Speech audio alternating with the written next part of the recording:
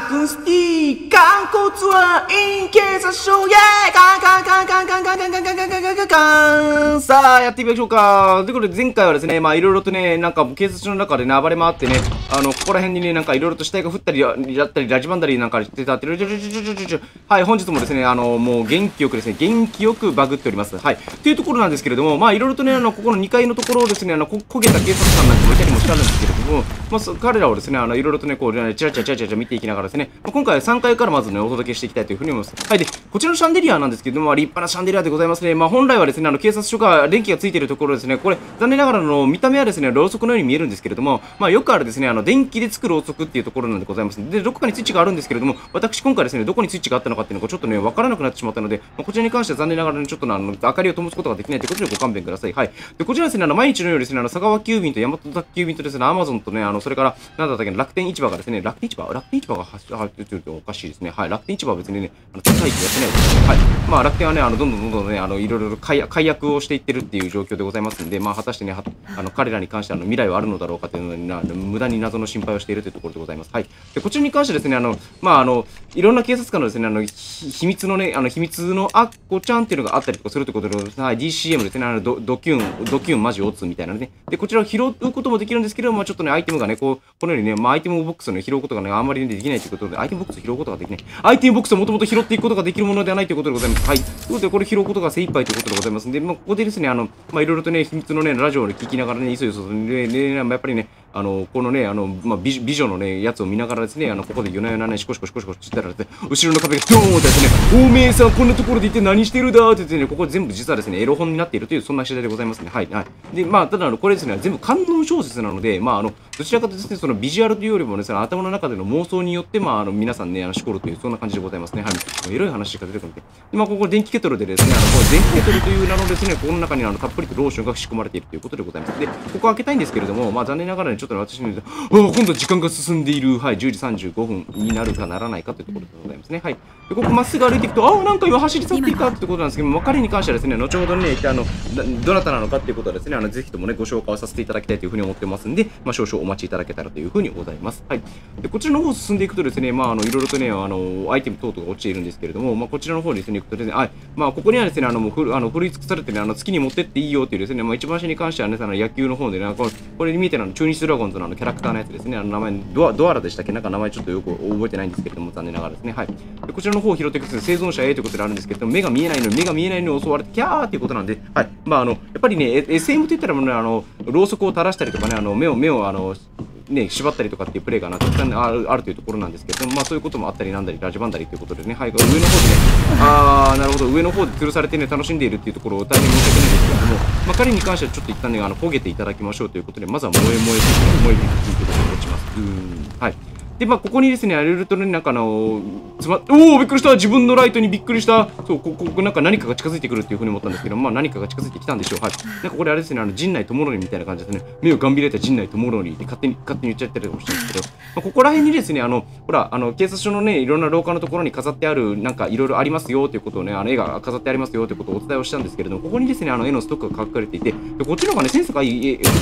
ぱい書かれてるんじゃないかってね、個人的には思うんですけれども、まあ、なぜかね、あの、所長のね、悪趣味によってね、全然ね、あの、私の望むような絵を飾っていただけないということでございますので、まあ、そろそろね、あの、言うことを聞かない所長に関しては、私の方からね、もう首を切って信ぜようということをね、考えている次第でございます。はい。で、こちらの方にですね、アイテムはいろいろあるんですけれども、まあ、こう、えここでサイトパックを拾うことによって、まあ、アイテム、武器、いろいろ拾うことができましたと。はい。で、こちらの感じに関してはですね、あの、まあまあ、まあ、あのアリストテレスとかね、あの、メソメソポタミア文明とかね、めちゃくちゃ適当なこと言ってるけど、はい。まあ、いろいろね、あの、ギリシャ文明ギ、ギリシャ文明っていうか、まあまあまあ、あの、紀元前にいろいろとね、あの、残した方々哲学として残した方々の、まあ、あの、かたどったやつになってると。で、あの、この中にお腹ポコンってなってるんですが、あそこからね、あの、メダルを生み出していただくためにはですね、まあ、我々としてもやらなきゃいけないことがあるということですね、まずは一旦ね、こちらの方に、えー、えー、帰っていきましょうということでございます。はい。で、ここ立派な図書館ですね、立派な図書館なんですけど、全部飾ってあるのは観音小説ということでございます。はい。で、クリアマービン、わーってなってることなんですけど、まあ、戻ってきておいでということなんで仕方ない。黒豆焦げ茶先輩ですね、あの、戻っていくしかないというところで、まあ、心にあるですね、本を一冊一冊読んでいきながらですね、あの、あの、か彼女の秘密の花像が、パカッと開いて、そのところ、うんぬんかんぬんとかって言ってる暇もないんでね、はい。ということで、まあ、一個一個ね、こう、まあ、やっぱりプレゼントこういうということで、ボンボンボンボンやっていきたいと。おーおはようございますお目覚めでございますね。ゆっくりと寝ていたところをよくも起こしやがって、ということで、なんかふらーっと言ってるんだ。どこに行くんだな。あ、食べ物を求めて3000里ということでね、美味しいものどこだということで、いろいろ見ていってる最初でございますね。はい。あ、ちょっと待ってくださいね。はい。あの、まともに操作することができないという、そんな市場でございますね。一応ですね、あの、部屋をね、あの、ちゃんと冷やしてあってね、あの、パソコンが、あの、燃え燃えピピ、燃えピピピってなっても大丈夫な状態にしているんですけれども、残念ながらちょっと燃え散らかしてるいつまでお前は食事を食っているんだ爆発しろはい、あの、爆発するとですね、残念ながらね、あの、やっぱりね、足と首とかね、あの、とんでもない方向に向いちゃって、あ、あれに、そうです、あの、私がですね、あの、あ、ちょちょちょちょちょ、なんだなんだなんだ。冒頭ですね、お伝えしたかったのに関してはですね、あれですね、あの、こういう状態になりますよということで、まあ、火が灯るというよりは明かりがつくという感じでございますね。まあ、で、ここにね、あの、関しては、私ね、あの、観音小説ばかり取り揃えているというところだったんですけれども、まあ、自分の好きなですね、ビジネス等々ともね、あの、仕込んでいるというところでございますので、なんかさりげなく観音小説がそちらの方に仕込み直しているというところもありましたんで、まあ、あの、そこに関してはですね、やっぱりあの、私、図書室っていうか図書館とかっていうのは本が大好きでございますんで、まあ、こちらに関してはね、あの、自分の中でもね、なんかそこそこいいんじゃないかっていう絵を飾ってあるという、そんな次第でございますね。はい。はい。で、えっと、ここにですね、まだね、あのちょっと、ね、食べ物を求めて3000里のね、あの方とですね、あれ？それ、これ、もう、あれ？ちょっと待って、食べ物大好き、ジャイアンちゃんが、あれ？ジャイアンちゃん？ジャイアンちゃん、ジャイアンちゃん、てんげれげんでんでんでんでん。いないですね。はい。ジャイアンちゃんがいないということなので仕方がありませんから、私の方から降りてって、あ あ、そ、そっちに降りるんじゃないよ。ちゃんとちゃんと階段を使いましょう。階段を使っていきましょう。ちょっと待ってくださいね。あのね、あのね、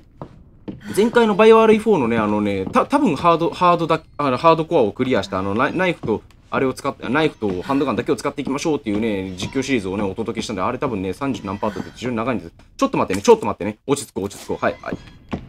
アイテム欄を開くことによって、なぜかあの狂っている操作性がですね、一旦リセットされるというオチなんですけれども、あれ？ちょっと待ってくださいね。本当に彼どこに行ったんだろうね。なんか嫌な予感がしてならない。あれ？足が刺さっている。どういう、どういう状況？動き始めているという状況ですね。あ、焦げている。え？本当にどこ行ったんだ？本当にちょっとどこ行ったのか分からなくなってしまったので、と思ったら足元にいた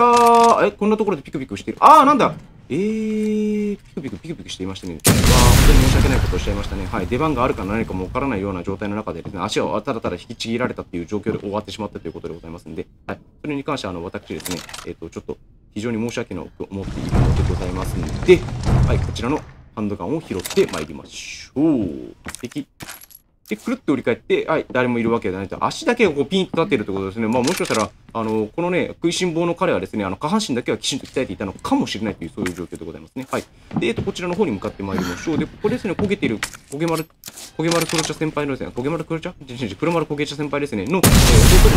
に関してはさらにですね、焦げ焦げ焦げになっているので、焦げ焦げ焦げ焦げ先輩になっているというところでございます。はい。で、こちらの方を開けていくとですね、なぜかですね、あの、ユニコーンが立っているという、ユニコーンに関しては、えっと、私何をやったらいいのかわからなかったので、こちらの方を開いていきましょう。で、ケースの手帳をちらっと見ていくとですね、はい、えっー、それから、えー、双子座サソリ座の女、そして、えー、三河健一ということでございますね。はい。えっ、ー、と、ということで、双子座、えー、三河健一、えー、双子座、サソリ座の女、そして三河健一、三河健一、三河健一、あ、ちちちち、三河健一を開くと、あ、ユニコーンがペーンと出てくるということでございますね。はい、OK でございます。はい。ということで、えー、そしてですね、私ですね、ツアーガイドに。もかかわらず、あの、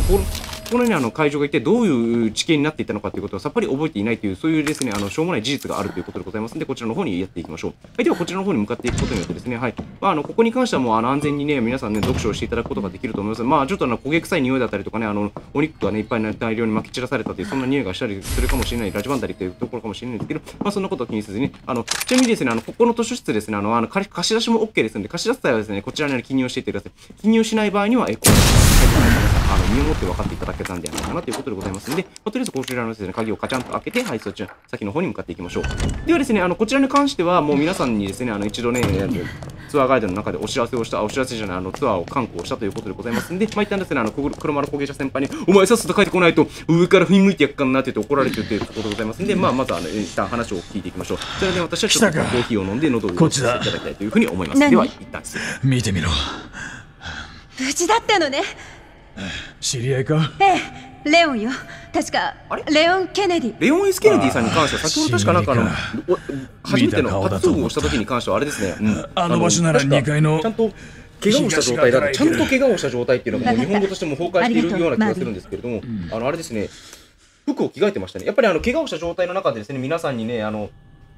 観光ツアーをするなんていう、そういう荒技をすることっていうのは、さすがにまあちょっと難しいのかなというところでございましたんで、はい。まあ、ということでですね、はい。えーと、彼をお迎えに行きましょう。ということでね、あもう、え、えーダパイ、えーダパイセンじゃねえ、あの、クレアパイセンに関してはですね、もう私ももう疲れちゃったわということでございますので、まあ、疲れた彼女をですね、あの、これ以上 push することはできないので、まあ、ちょっとあの、レオン・エス・ケネディちゃんにですね、あのツアーガイドをね、ちょっと交代していただこうという、そんな算段でございます。ということで、まあ、とりあえず必要のないアイテムに関しては、あの、預けていこうかなというふうに思います。これだ、預ける。でこれも預ける、これも預ける。で、えー、他に関しては、えー、ちょっと持っていきましょう。ということでございます。はい。で、えっ、と、今からですね、東側のですね、先ほど、あの、前々回、前回、前々回くらいにですね、ちらっとお見せしたあのところを、あの、ちらっとお見せしてですね、はい、ちらっとお見せしてっていう、日本語もうむちゃくちゃになってるという状態なんですけど、まあ、そんなことは皆さん気にしないでやっていっていただけたらなということでございます。はい。ということで、まあ、こちらの方ですね、あの、待合室ですね、皆さん大好き待合室に、えー、行こうというふう、あ、ちょちょちょちょちょちょちょちょちょちょちょちょちょちょ何をやってるんだ、私はですね、はい。すいません、あの、何をしたかったかというとですね、はい。ここのところでございます。アイテム欄を開けるためにわざとね、メダルを持っていかないという、あ持っていこうというふうに決めたんで、はい。で、ここでメダルをカチャンとやるとですね、はい、秘密のアッコちゃんが開くということですね。はい。パカーって開くとね、あの、彼女の秘密のはずのパカッと開いてて、ね、もうね、パカッと開いてっていう表現がもうあまりにも幼稚臭くてね、僕は観音小説書くことができないなと思いましたね。はい。昔高校時代にですね、あの、僕が通っていた高校でですね、まあちょっとなおかしな、頭のおかしなやつがいてですね、はい。まあ頭のおかしなっていうことはですね、僕が言ってるんだけどなくて、あの、あの、僕以外の全、あの、僕以外の、あの、本人以外の全ですね、あの、同級生が、あ、いつ頭を抱えた頭がついてて、どうやらですね、あの、携帯小説をね、あの、書く趣味があったらしくてですね、そこでですね、あの、普通に観音小説と書いてね、あの、あの、よく出てくる、あの、ぐじゅっとかですね、ペロペロとか、そういうね、こう、ことをね、あの平気で書いてたということでございます。はい。で、こちらもですね、あの、まあ、 still, still missing ということで、ね、もうこんな可愛らしい彼女がね、今ね、あの、このラクーンシティの中でですね、残念ながらちょっと見失っているということでございます。あの、ま、行方不明になっているということでございますので、ぜひですね、あの、皆さんにですね、あの、この彼女をですね、あの探すっていうことを、あの、意識していただきながら、はい、落ち着いて落ち着いて、っていうことをいただきながら、あの、ぜひね、この観光ツアーやっていただけたらなというふうに思います。ちなみにお名前はですね、えっと、カール、えー、か、うん、うん、うん、うん、うん。で、はい。で、その横にですね、あの、彼女を見つけるためのリーダーをやってます。僕、マービン・ブラナーって言いますってですね、あの、黒丸焦げ先輩の双子のお兄さんでございますね。はい。で、こちらですね、あの、待合室で、やっぱりですね、待合室に関しては、やっぱり退屈をしてはいけないというところでございますんで、まあ、たくさんのですね、様々な、あの、週刊誌を置いているということでございます。はい。まあ、私のおすすめに関しては、少年ジャンプと少年チャンピオンと少年マガジンと、えー、少年サンデーと、えー、コロコロコミック、うんぬんかんぬん。全部漫画。はい。でございますね。はい。で、こちらに関してですね、あの、あなんか、イエス、アイアンブラナーとか言ってるんですけど、あの、彼に関しては後ほど出てくるんですけれども、まあ、あの、別名出産所長ということでございますね。はい。子供を産むのが大好きな所長でございますんで、まあ、彼の出産シーンに関しては皆さんにも人と、おそらくお見せできることができるんじゃないかなというふうに思っておりますんで、まあ、そこはお楽しみいただけたらなというふうに思います。で、彼に関してはマイケル、あーってございますね。はい。その横に関しては、えー、っと、よくわかんないですけれども、もうちょっと下の方に画像が、あの、視点を移していくと、おっぱいパイっていうことですね。タオパイパイとは違いますよ。はい。で、こっちに関しては待合室ですね。あの、まあ、やっぱり、あの、最先端のね、パソコン技術っていうのを置いておくっていうことが非常に大事になっていくかなというふうに思いますので、もうここを見ていくとですね、あの、待ち合わせで、あ、next, next, next このずヒーンって、ヒヒーンって言っていく感じになってるということです。で、こう、なんだなんだなんだなんだ？美術館を警察そうなんですよ。美術、実はですね、ここ美術館を警察署にしたいってあっていうことがあったんで、絵がたくさん飾ってあるということでございますが、まあ、絵に関してはですね、もともとね、あの、私の趣味がございましたんで、まあ、あの、残念ながら、あの、私、あの、ピカソが描いた絵なのか、あの、えー、素人が描いた絵なのかということのね、あの、区別もつかないくらいに、あの、絵に関してはね、全くもって知識を持ち合わせていないというところで残念なあ人間でございますので、まあ、そこに関してはですね、許してたもれと。ということでございます。はい。ではですね、ここのですね、美術室、えー、美術室でちゃんと言えるっていうこと時点で、私はもうあのなかなかの滑舌のセンスはあるんじゃないかなと思うんですけどね、まあ、美術室ではちゃんと言えないですよね。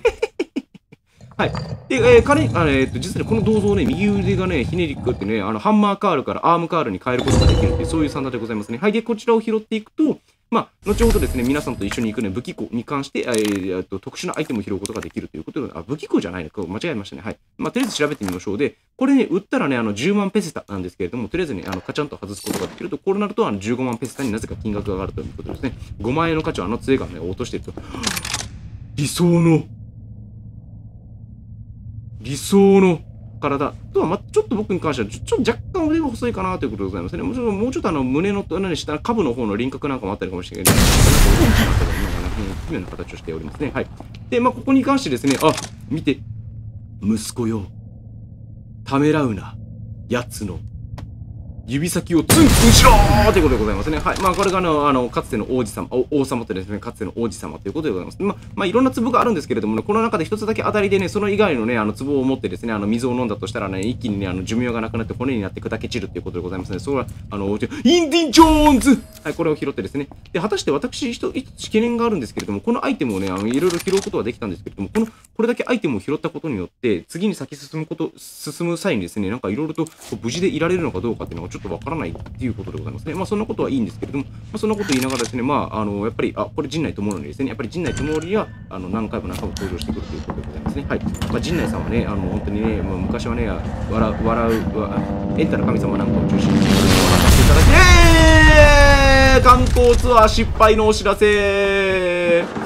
そうか。B 組、えー、全然燃えてない。ただただただただ突っ込んできたけど。あれ？死体を撃つことがない。あれ？ちょっと待って。あ、すごいですね。あの、皆さん、あ、すごいですね。あの、今日ですね、皆さんがこう観光ツアー来ていただいているのって、A 組なんですね。で、B 組の皆さんが今こうやってあのヘリコプターでヘリコ、直接警察署にね、乗り込んで突っ込んできたっていうところだったんですけれども、まあ残念ながらですね、あの、まあヘリコプターの運転手さんだけはこうやってお亡くなりになっていますが、どうやらあの観光ツアーにあの逃げ去った、あ、違う違う、観光ツアーにご参加の B 組の皆さんに関しては、無事に、あのヘリで脱出することができた、そういうオチだったってことでございますね。はい。で、よくよく下を見ていくと、あれ？あれ？いないねーいない、なんでだろうね。死体もないね。うん、おかしいな。あれ、おかしいな。ブッさあ、燃える。燃える。もう、おいくれおい、こら、同僚に向かっておいってないね。おーいだろおいあれちょっとまた着替えてんじゃねえか。こんな雨降りしきながら上半身裸になってあやばい奴が来る。その前に服を脱いで着替えなきゃということで、まあ、これがいわゆる属性でいうところのですねあの早着替えと呼ばれるものですね。はい。でガチャガチャガチャガチャあげダメか開かないよふーってなってるんですけどそりゃそうだよ。そんな怪我してる人間をねあの仕事させるなんてねそんな私ね社長として許せないですよ。あのきちんと労災をもらいながらですねあのあの企業非常に専念していただけたらなというふうに思います。まあ、最近ね、あの、いろんな会社でですね、あの、あの、か、かあの、体、まあ、ちょっとね、怪我をしましたとか、病気をしましたっていうことをきっかけにですね、あの、うつ病になるなんていう話もよく聞いたりとかもしますけれども、まあ、彼はこうやってね、あのね、あの、こんなに怪我をしててね、あの、今にも死にそうな状態にもかかわらずですね、あの、無事にね、こうやって、出勤しようと頑張ってくれているところ、大変申し訳ないんですけれども、やっぱりでも、やっぱり仕事を取り上げるっていうことがもしかしたら鬱になってしまう可能性っていうのも考えられるんですけれども、私としてはもうここはしっかりと休んでいただいて、怪我を治して、えー無事に帰ってきていただきたいという思いで石でございます。しなかったして、あー、これがあれですね。ヘリコプターから落ちた B 組の皆さんだったと。ということは、無事に脱出することができずに皆さん落ちてしまっていたということでございますね。ということは、あの、無事に落ち、あ、無事じゃないね、あの、残念ながら落ちてしまったということがありますので、あの、そう、あのねあの、まあ、彼らを深いくぐりながらですね、あのレオン、レオン君にはですね、あの、ちゃんと怪我を治して、えー観光ツアーに臨める体制をですね、ぜひ作っていただきたいなというふうに思います。ということで、B 組の皆さん、あの、なぜかこちらの方に向かってきましたね。なんでだろうね。うんやっぱりあの、まあ、男よりも女の子が好きですよということのね、あの、気持ちの表れかもしれないですね。で、私、えー今気づきました。えっ、と、非常にまずい状態になっています。はい、これ以上、これ以上アイテムを拾ってしまうとですね、あの、残念ながら、あの、オープンセサミをすることができないということに気づいてしまいましたマービー、マービー出しにかけているということなんで、まずは仕方がないから、嘘でしょって、本当だよって言いながらですね、とりあえず B 組の皆さんがやかましいので、私は A 組の皆さんを守ることに精一杯なので、とりあえずはい。これで、えー気持ちよくなりましたね。はい。ここを開けると大変なことになっちゃうよということで、はい、B 組の皆さんがおとなしくなったということでございますので、皆さんと共にですね、あの、安心安全をお届けしする観光ツアーを、えー、引きやってまいりたいというふうに思います。ということで、ここになんかチラチラいるのかな？な？いないですな。はい、よくわからないんですけれども、まあ、こちらの警察署オフィスを開けようとすると、あ、まだ元気に、元気に彼は、えー、まだ寝てんのかよ。下半身が砕け散った程度で。ちょっとダメですね。良くないですね。彼に関してもあれですね、まあ、ちゃんと治療を施しているはずなのに、ちょっとサボっているということが事実としてあると思いますんで、まあ、彼に関してはちょっと減給もしくは懲戒処分をちょっと検討したいかなというふうに思っております。はい。私、あの、あれですよ、あの、一生懸命仕事することに関しても、もう非常にね、あの、対高待遇でね、頑張ってほしいなというふうに思ってたんですけど、やっぱりサボる方に関してはですね、もう遠慮なくね、もう、どんどんどんどんおーっとちょっと、ちゃんと窓から入るっていう習慣を皆さん身につけてくださいね。あの、窓から入る方に関してはもう遠慮なくぶっ放していきますからね。はい。ということで、えー加工に関しては、まあ、もちゃんきちんと鍛えていきましょう。で、アイテム拾って、え元気に、元気に腕が、腕と足がちぎれているということで、はい。まあ、もうちょっとね、あの、やっぱ片方だけちぎれてるっていうのは非常にバランスが悪いと思いますので、もう片方もきちんとちぎっておきましょう。はい。で、こちらがですね、あの、西オフィス、西オフィスだったかな？ちょっと待ってくださいね。地図を開きましょう。はい。東オフィスの、ちょ、間違えた、東、逆だったね。こっちが西側だったね。こちらがですね、レオン・エス・ケネディとかね、あの、クレア・レッドフィールドちゃんがいるというオフィスになっております。はい。で、こちらがですね、あの、失礼しました。クレアレッドフィールドここにいません。はい、失礼しました。はい。で、あの、今、あたあの観光ツアーを頑張ってくれている女子大生ですね。あの、彼に関して、あの、彼女に関しては、あの、夏休みインターンのね、あの、あれですよ、もう、皆さんが今言ってるのは11月かもしれないですけど、あの彼女はですね、ちょっと遅めのインターンを取っているということで、夏休みインターンのですね、はい、もう長長期休暇中の、まあ、あの、ツアーが、臨時ツアーガイドということでご参加いただいているというところでございます。はい。で、東側オフィスに関しては、まあね、あのね、平社員たちがたくさん集まっているということでございますので、まあ、荒れ、荒れ、荒れている、散らかっているということなんですけれども、まあまあ、そんなことを気にせずにね、まあまあ、いろいろとね、あの、見て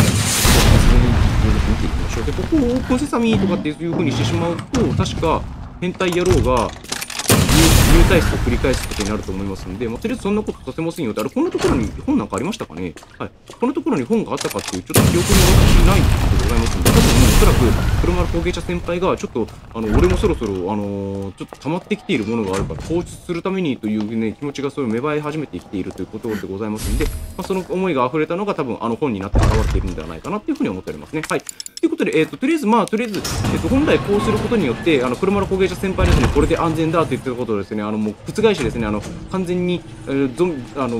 暴徒、暴徒化した市民たちがね、たくさん流れ、なだれ込んでくるという状況をね、私がね、あの、あの、しかとね、こう、作り、作り倒してしまったというところでございますが、まあ、そんなことよりもね、やっぱりね、あの、風通ずるところがある方が、あの、気持ちよくなれるかなということでございますんで、まあ、そんなことを気にせずにね、えー、皆さんと共にこの中入っていきましょうということでございます。ということで、まあ、とりあえず一旦いらないアイテム等々に関しては、えっ、ー、と、これもいる、いらないで言うといるかもしれないから、まあ、こいつだけでいいですかね。はい。ということで、えっ、ー、と、一旦こちらをアイテム整理をさせていただいて、はい、そんなところでございますね。はい。ではですね、えっ、ー、と、車の攻撃者先輩のことをちょっとね、あのー、ちょっと、無線が通じなかったということで、もしかしたら腹痛で倒れてるかもしれない。一旦ちょっと覗きに行ってみましょう。はい、大丈夫？